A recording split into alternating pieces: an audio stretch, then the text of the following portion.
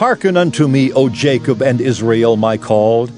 I am he, I am the first, I also am the last. Mine hand also hath laid the foundation of the earth, and my right hand hath spanned the heavens. When I call unto them, they stand up together. All ye, assemble yourselves and hear. Which among them hath declared these things? The Lord hath loved him. He will do his pleasure on Babylon, and his arm shall be on the Chaldeans. I, even I, have spoken. Yea, I have called him, I have brought him, and he shall make his way prosperous. Come ye near unto me, hear ye this. I have not spoken in secret from the beginning. From the time that it was, there am I. And now the Lord God and his Spirit hath sent me. Thus saith the Lord thy Redeemer, the Holy One of Israel, I am the Lord thy God, which teacheth thee to profit, which leadeth thee by the way that thou shouldest go. O that thou hadst hearkened to my commandments! Then had thy peace been as a river, and thy righteousness as the waves of the sea. Thy seed also had been as the sand, and the offspring of thy bowels like the gravel thereof. His name should not have been cut off, nor destroyed from before me. Go ye forth of Babylon, flee ye from the Chaldeans, with a voice of singing declare ye, tell this, utter it even to the end of the earth. Say ye, The Lord hath redeemed his servant Jacob, and they thirsted not when he led them through the deserts. He caused the waters to flow out of the rock for them. He clave the rock also, and the waters gushed out. There is no peace, saith the Lord, unto the wicked. Isaiah chapter 49. Listen, O isles, unto me, and hearken, ye people from far. The Lord hath called me from the womb. From the bowels of my mother hath he made mention of my name. And he hath made my mouth like a sharp sword. In the shadow of his hand hath he hid me, and made me a polished shaft. In his quiver hath he hid me, and said unto me, Thou art my servant, O Israel in whom I will be glorified. Then I said, I have labored in vain. I have spent my strength for naught and in vain. Yet surely my judgment is with the Lord, and my work with my God. And now, saith the Lord, that formed me from the womb to be his servant, to bring Jacob again to him. Though Israel be not gathered, yet shall I be glorious in the eyes of the Lord, and my God shall be my strength. And he said, it is a light thing that thou shouldest be my servant to raise up the tribes of Jacob, and to restore the preserved of Israel. I will also give thee for a light to the Gentiles, that thou mayest be my salvation unto the end of the earth. Thus saith the Lord, the Redeemer of Israel, and his Holy One, to him whom man despiseth, to him whom the nation abhorreth, to a servant of rulers, Kings shall see and arise, princes also shall worship, because of the Lord that is faithful, and the Holy One of Israel, and he shall choose thee. Thus saith the Lord, In an acceptable time have I heard thee, and in a day of salvation have I helped thee, and I will preserve thee, and give thee for a covenant of the people, to establish the earth, to cause to inherit the desolate heritages that thou mayest say to the prisoners, Go forth! To them that are in darkness, show yourselves. They shall feed in the ways, and their pastures shall be in all high places. They shall not hunger nor thirst, neither shall the heat nor sun smite them. For he that hath mercy on them shall lead them, even by the springs of water shall he guide them. And I will make all my mountains a way, and my highways shall be exalted. Behold, these shall come from far, and lo, these from the north and from the west, and these from the land of Sinim. Sing, O heavens, and be joyful, O earth, and break forth into singing, O mountains, for the Lord hath comforted his people, and will have mercy upon his afflicted. But Zion said, the Lord hath forsaken me, and my Lord hath forgotten me. Can a woman forget her sucking child, that she should not have compassion on the son of her womb? Yea, they may forget, yet will I not forget thee.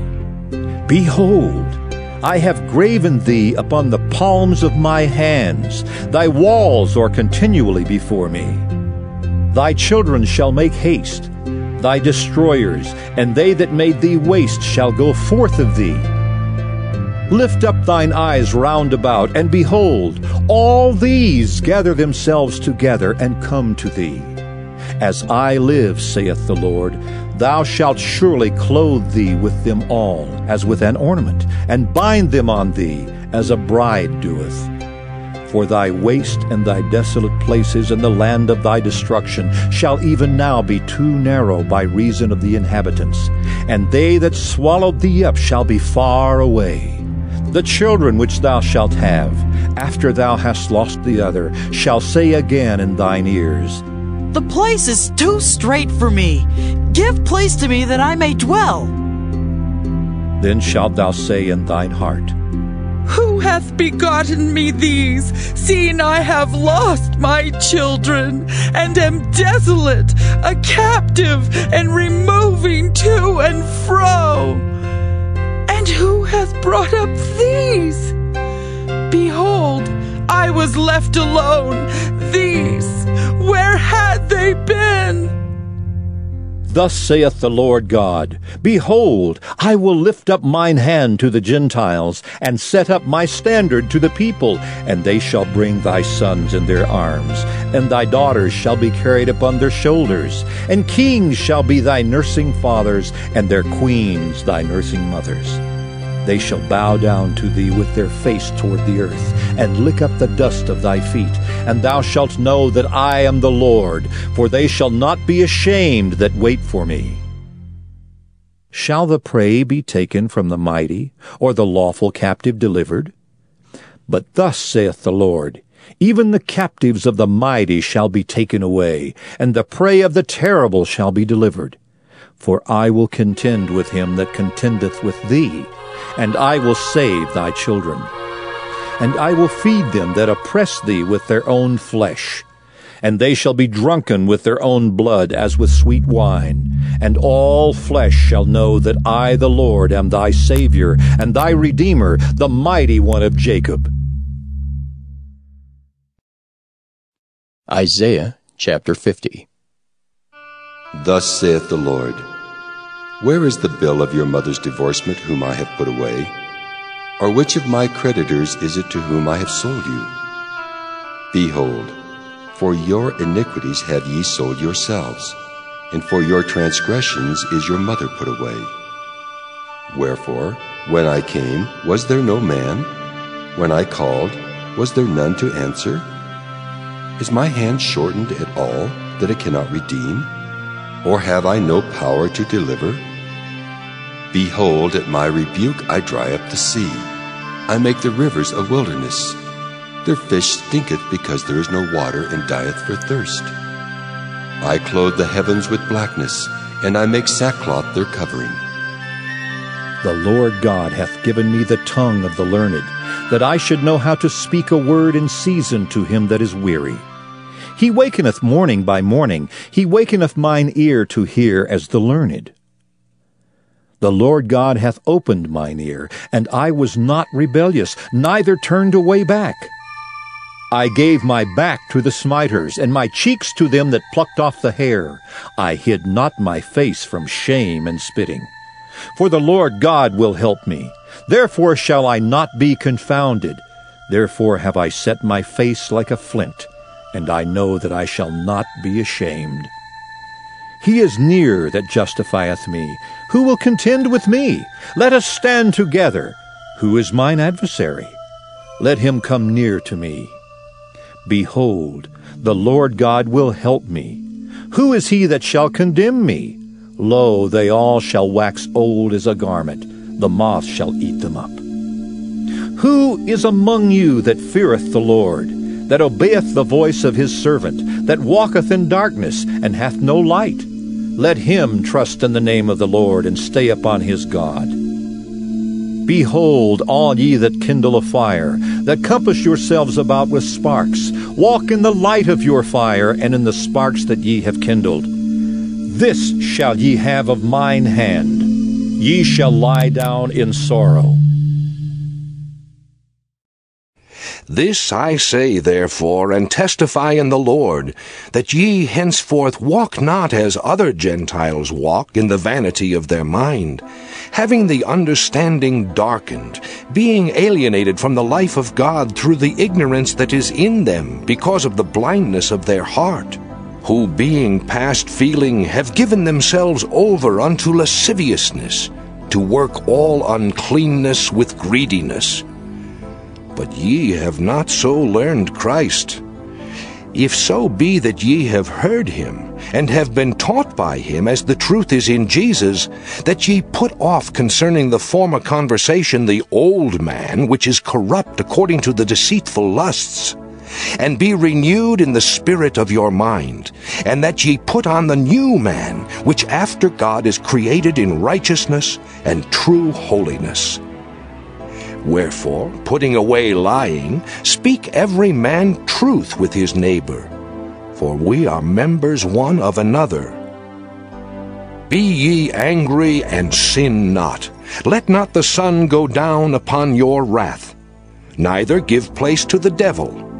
Let him that stole steal no more, but rather let him labor, working with his hands the thing which is good, that he may have to give to him that needeth. Let no corrupt communication proceed out of your mouth, but that which is good to the use of edifying, that it may minister grace unto the hearers. And grieve not the Holy Spirit of God, whereby ye are sealed unto the day of redemption. Let all bitterness and wrath and anger and clamor and evil speaking be put away from you with all malice. And be ye kind one to another, tender hearted, forgiving one another, even as God for Christ's sake hath forgiven you. Proverbs chapter 26. As snow in summer and as rain in harvest, so honor is not seemly for a fool. As the bird by wandering, as the swallow by flying, so the curse causeless shall not come a whip for the horse, a bridle for the ass, and a rod for the fool's back. Answer not a fool according to his folly, lest thou also be like unto him. Answer a fool according to his folly, lest he be wise in his own conceit. He that sendeth a message by the hand of a fool cutteth off the feet and drinketh damage. The legs of the lame are not equal, so is a parable in the mouth of fools. As he that bindeth a stone in a sling, so is he that giveth honour to a fool. As a thorn goeth up into the hand of a drunkard, so is a parable in the mouth of fools. The great God that formed all things both rewardeth the fool and rewardeth transgressors. As a dog returneth to his vomit, so a fool returneth to his folly. Seest thou a man wise in his own conceit? There is more hope of a fool than of him. The slothful man saith, There is a lion in the way, a lion is in the streets. As the door turneth upon his hinges, so doth the slothful upon his bed.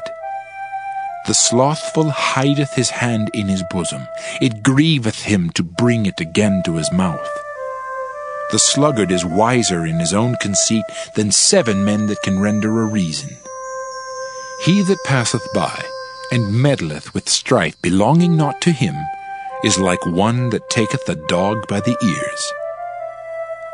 As a madman who casteth firebrands, arrows, and death, so is the man that deceiveth his neighbor and saith, Am not I in sport?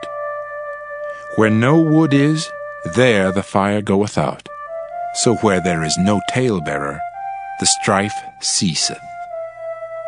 As coals are to burning coals, and wood to fire, so is a contentious man to kindle strife. The words of a talebearer are as wounds, and they go down into the innermost parts of the belly. Burning lips and a wicked heart are like a potsherd covered with silver dross. He that hateth dissembleth with his lips, and layeth up deceit within him. When he speaketh fair, believe him not. For there are seven abominations in his heart, whose hatred is covered by deceit. His wickedness shall be showed before the whole congregation. Whoso diggeth a pit shall fall therein, and he that rolleth a stone, it will return upon him. A lying tongue hateth those that are afflicted by it, and a flattering mouth worketh ruin. Psalm 126 A Song of Degrees. When the Lord turned again the captivity of Zion, we were like them that dream. Then was our mouth filled with laughter, and our tongue with singing. Then said they among the heathen, The Lord hath done great things for them. The Lord hath done great things for us, whereof we are glad. Turn again our captivity, O Lord, as the streams in the south. They that sow in tears shall reap in joy. He that goeth forth and weepeth, bearing precious seed, shall doubtless come again with rejoicing, bringing his sheaves with him. Psalm 127 A Song of Degrees for Solomon. Except the Lord build the house, they labor in vain that build it. Except the Lord keep the city, the watchman waketh but in vain. It is vain for you to rise up early, to sit up late, to eat the bread of sorrows, for so he giveth his beloved sleep. Lo, children are an heritage of the Lord, and the fruit of the womb is his reward. As arrows are in the hand of a mighty man, so are children of the youth. Happy is the man that hath his quiver full of them. They shall not be ashamed, but they shall speak with the enemies in the gate. Psalm 128 A Song of Degrees. Blessed is every one that feareth the Lord, that walketh in his ways.